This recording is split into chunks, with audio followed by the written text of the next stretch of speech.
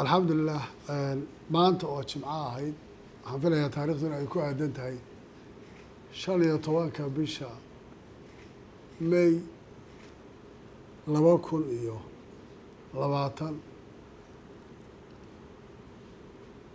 Waa maalin aan is leeyahay taariikh bay ku leedahay soomaalida.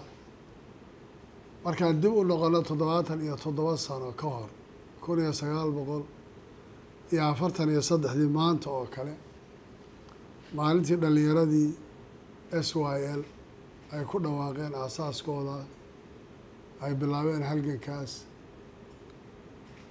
Aan filayo qof kastoo soomaaliya inuu garanayo dhalinyaradaasi. Macnaha ay ku fadhiyeen iyo waxa ay xilligaas bilaabeen waxa uu ahaa.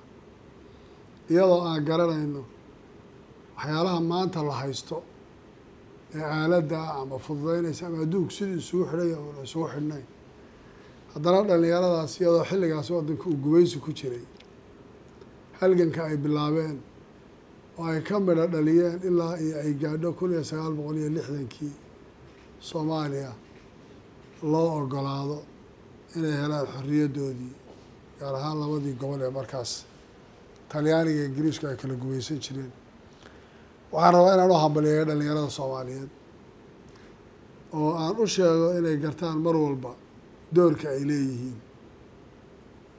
Sababtoo dhalinyaradu waa xoogga shacabku uu leeyahay. Dhalinyaradu waa dadka ka turjuma dareenka dadka.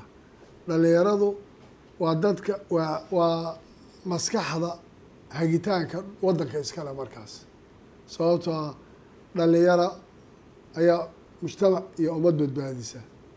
Qofka odaygaa ama dadka markay duqoobaan ama ay sii yaryar yihiin waxaa laga yaabaa inay sida la rabo inay waxu qaban karayn taa waxaan rabaa inaan marka hore u hambaliyeeyo oon u tacsiyeeyo iyagoo hadda aan leeyahay ree aakhiraad bay yihiin dhalinyaradii aswaayada xilligaas u soo halgantay ee qalinka ku halgantay sidii soomaaliya xorriyaddeeda ku qaadan lahayd.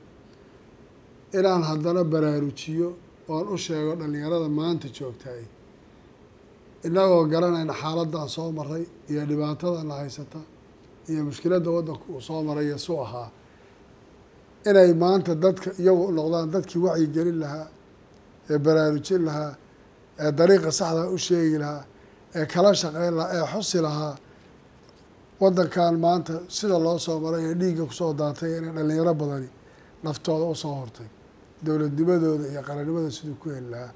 Maantana loo baahan yahay sii jiritaanka iyo adkeynteeda inaan u baahannahay in dhalinyaradu maanta joogta ay ka qaadato.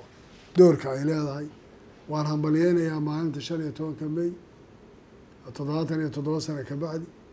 Waxaana leeyahay ilaahay waxaan ka baryayaa kuwa hadda joogana in dhalinyaradaasi caqligii saliimka ay ku fakerayeen ay ku fakeraan